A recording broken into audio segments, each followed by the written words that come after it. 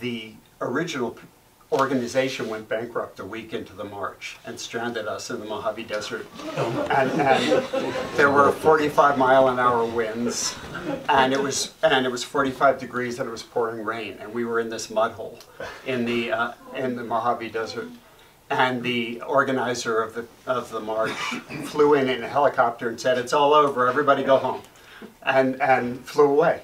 And, and um, and a lot of people did leave. We started out with about 1,200, but there were about 300 of us that, that stayed, just because, partly because a core group in the organization had seen this coming and they formed another, um, kind of secretly formed another nonprofit organization in case this happened. And they felt if we could just hang out in the mud hole for a few weeks, um, that they might be able to get enough donations for us to continue. And um, so while we were stuck in the mud hole, um, one of the first things that happened was in the exodus of most of the people leaving, somebody stole my sleeping bag. And I was still in this high, this, uh, this, this very high place. And um, uh, I guess I turned 29 years old by then. And uh, I became known as the guy who didn't have a sleeping bag but wasn't worried about it.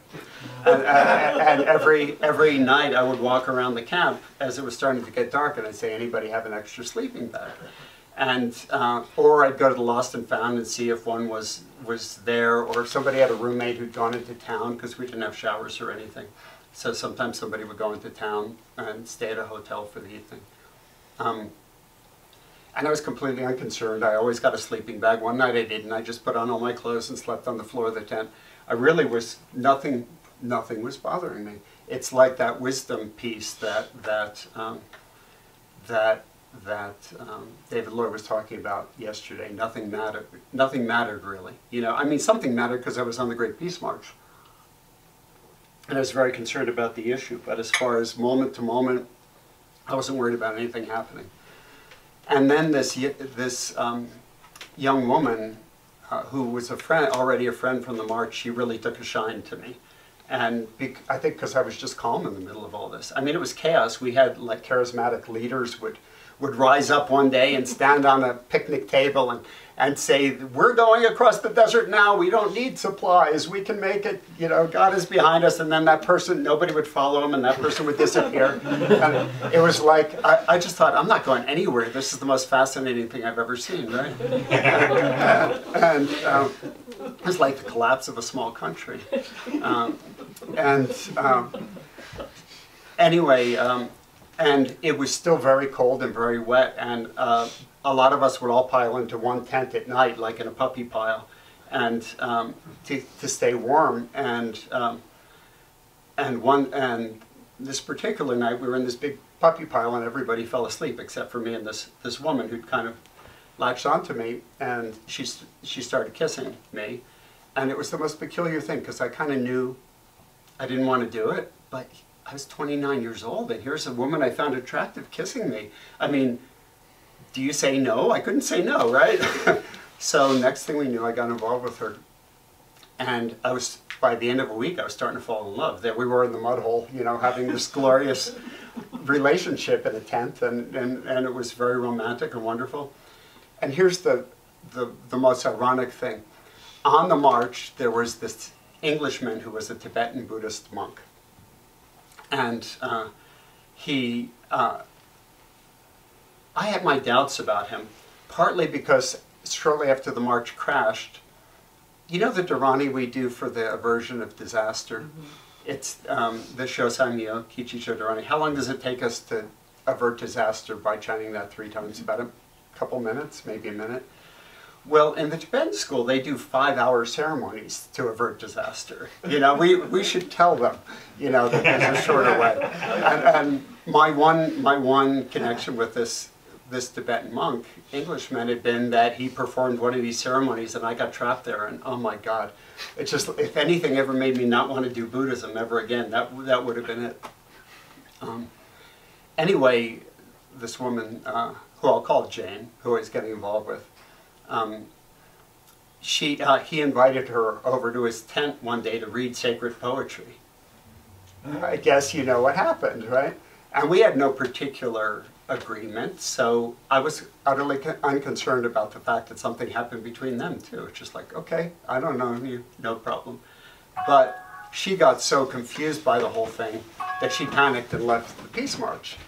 So, so I got jilted, and um, and that kind of knocked me off this high.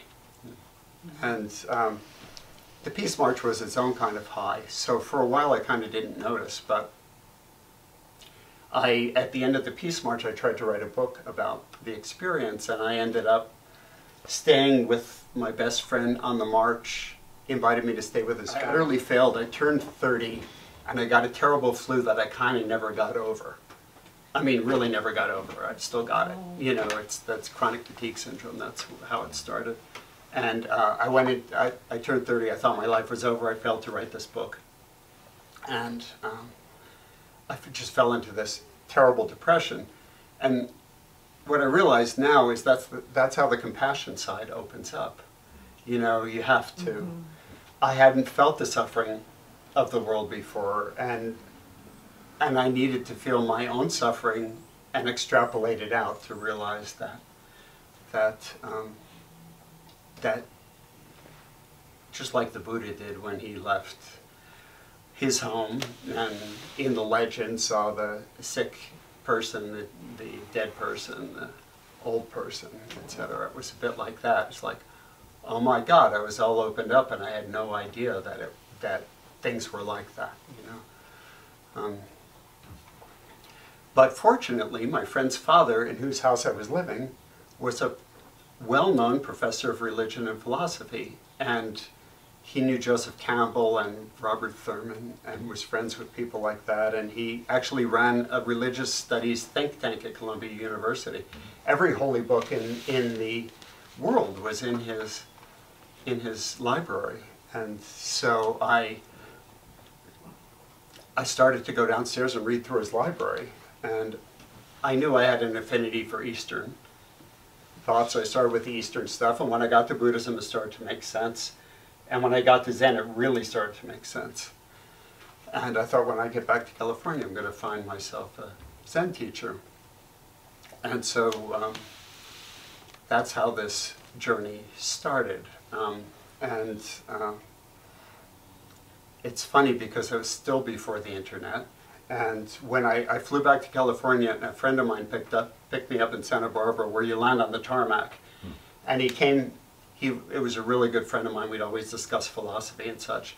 And um, he was so excited to see me. He came running up with this book in his hand, and he said, "Here, here, you've got to read this." And it was Peter Matthiessen's Nine-Headed Dragon River. Um, in the last part of the book, he talks about his relationship with Maezumi Roshi, and that Maezumi Roshi is in Los Angeles. And uh, so I thought, this is easy.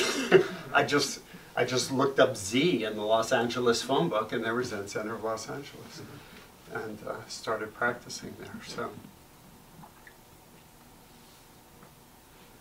um, so to get to the Dharma, more to the Dharma part of this. Um,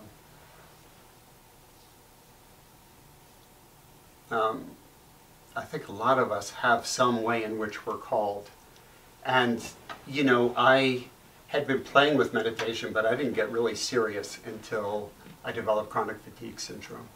And my health really crumbled. And that's actually the first thing that gave me a handle on it, to put it into remission for a time. Doing, doing sessions, which were so hard for me in the beginning. I know that's, that is the way it's been for some of you, and maybe still is for some of you. Uh, probably the first five years of sessions were just there was at least some point in them where it was just torture. The pain was so bad. And uh, I would also have these giant balls of emotion come up. And, uh, and I couldn't talk to Maezumi Roshi and later Daido Roshi about these. Um, it's not the training that they had. I'm so grateful that we, that we can deal with emotional material here. I knew I had to deal with it because I'd been through some therapy with, uh, with a therapist who was Buddhist and had done a lot of Vipassana practice. And so and so I basically knew that stuff comes up, you got to deal with it. So I just dealt with it privately. Um, but that also taught me something really important, which is, um, which is, the practice may look.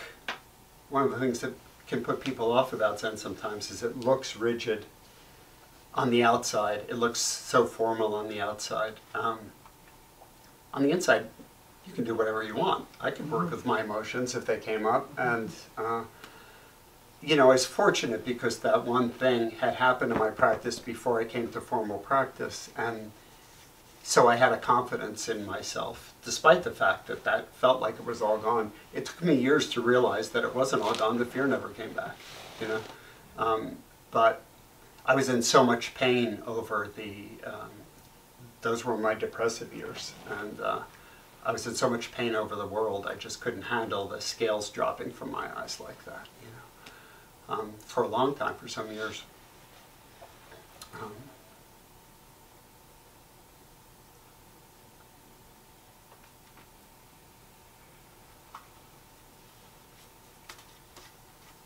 So, um, to cut to the chase, some years later I went to Naropa Institute to get my MFA in writing. And uh, the, the first summer I was there,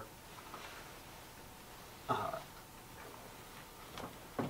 John Daido Loori showed up, Gerry Shishin Wick showed up, Bernie Glassman showed up, uh, Chino Roshi showed up, Bobby Ro Barbara Rhodes from the Korean school showed up. Um,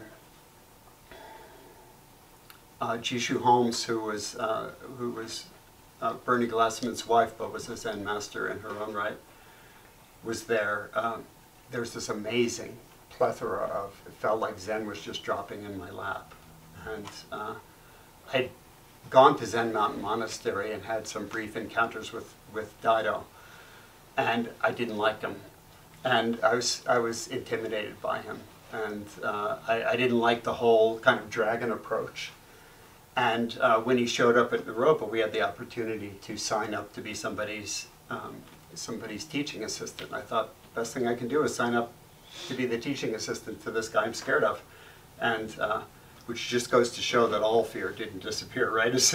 you know, just a certain giant chunk of existential fear disappeared. But um, I'm, forever grateful that I did that because he managed to hold the stern Zen master uh, kind of front for about three days, but he was there for two weeks and it just fell apart. And we started talking, and really in two weeks we, we became friends. And uh, I don't think I'd be here today if I hadn't become friends with Daido because, um, because that friendship let me, a fairly sensitive soul, find my way into what was, at that time, a harsh looking practice at, at the monastery. People shouted a lot. Um, uh, you were corrected rather fiercely. When you went into to Dokusan, uh, you know, Daido would kind of glare at you and say, do you have anything to say? You know, he'd be holding a stick, and, and, the lights would be low, and you could see his sailor tattoos crawling around on his arms, and the, you know, the room was brimming with samadhi. And, um, you know, it was it was set up to intimidate. Um, uh, but once I'd once I'd gotten to know him, I could kind of get around him. You know, I could kind of say, "Oh, you know, Daido, we're going to do this. Come on," you know, and I, and it's funny because it's as though I could feel the direction that Zen was. It's much softer at the monastery now, and at the same at the same time, I started practicing with Shishin Roshi, who was coming to Boulder intermittently, and if he'd had a if he'd had a center there, I probably would have just practiced with him. So, um, but I had like West Coast or East Coast, and I had this strong connection with Daido, so that's where I went first and trained with Daido for 17 years. Um, but um, I always continued to practice with Shishin Roshi too, so I think the first time I practiced with him was more than 25 years ago back in Europe. I think it was 1991. So.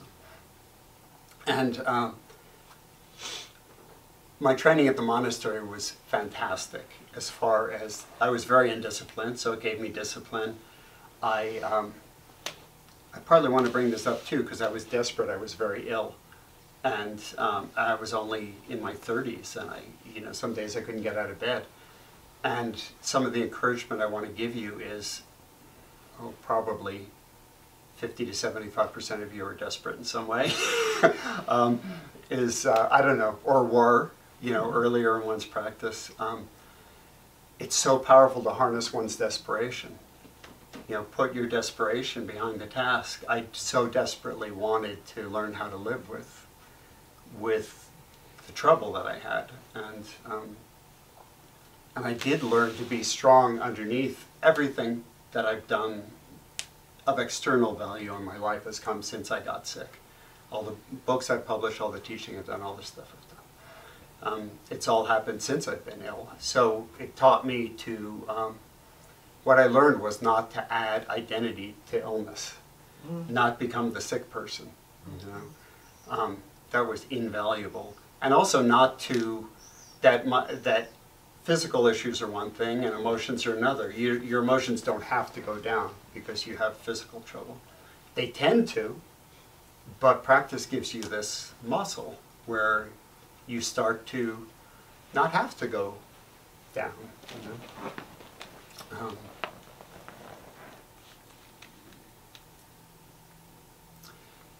so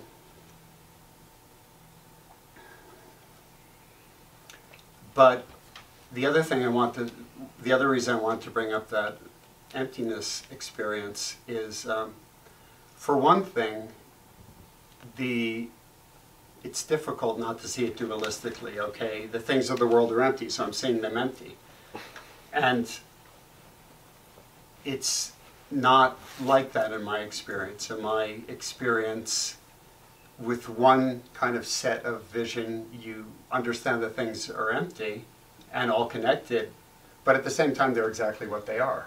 It's not like you have to alternate between the kinds of vision. They're, they're the same thing. Things are what they are, and they're, and they're empty of individual nature. Not just in the way described. There's other dimensions and other ways of looking at it, but that's just the way it first appeared to me. Um, and that separation is the, that, that sense of separation that we've developed that the objects of the world are separate from me. Um, that's our fundamental issue, in at least as it appears to me. If we, if we didn't feel fundamentally separate, we wouldn't be afraid. We wouldn't be in this kind of pain. We wouldn't worry about this individual me when it has to leave this life. Um, the other thing, a reason I want to tell this is because when I was at the monastery for 12 years, I was sure something really even bigger and more miraculous was going to happen because I'd had this one thing happen, and here now I was here I was in Zen, and this is where it happens, and um, it never happens like that. You can't seek an experience in that way, in that grabby way. Um, you kind of can't help that your mind's going to do that. Uh, but anything we can conceive of or think we're grasping for isn't the thing. It just, it's prior to thought, it's prior to the conscious mind.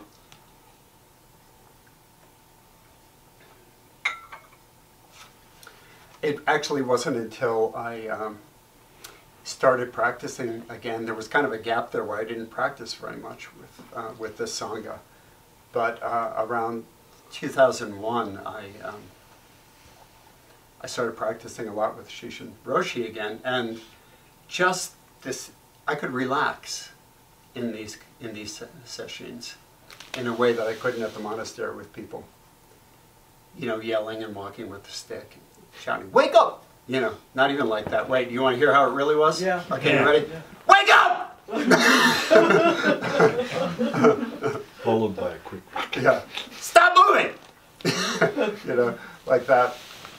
And uh, you know, I'm a I'm a gentle soul. I'm a sensitive soul. It was a little too much for me. I learned a lot from it, but all of a sudden my practice started to open up again, you know, to which I'm forever grateful. And um, the thing that I'm grateful for my time practicing with Daido too, but what Shishin Roshi and Shinko Roshi both have is one of the things I learned from my whole training experience, my whole practice, I've been practicing now my whole adult life really. And I'm 62 now, formally practicing for more than 30 years. It's my conviction that everybody has their own blueprint for awakening, they have their own blueprint for liberation within them. And, and uh, Shishin Roshi and Shinko Roshi uh, have the, they have an ability to meet the needs of the student and not just run them through a form and a system. And um, I can't tell you how, how patient Shishin Roshi was with me because I had a koan phobia. And, and uh, he was just very skillful with helping me get through that system. And uh, so I encourage, uh, uh, for practice to work, and in doing my book, One Bird, One Stone, I talked to 100 different senior students and teachers all over the country and um, interviewed them. And I found that the people I felt who were most, who'd grown the most in their practice were the ones who'd found a clear space within the practice to be creative, to find their own creative way through. If it's not a process of inquiry that's, that's driven by our own desire to, to know, then then then it's going to be limited. I meet people who are still doing the same practice they did 25 years ago, and it's just gone dead because they never they never realized that on the inside of practice you need to find your own way, and you need to make it your own. So.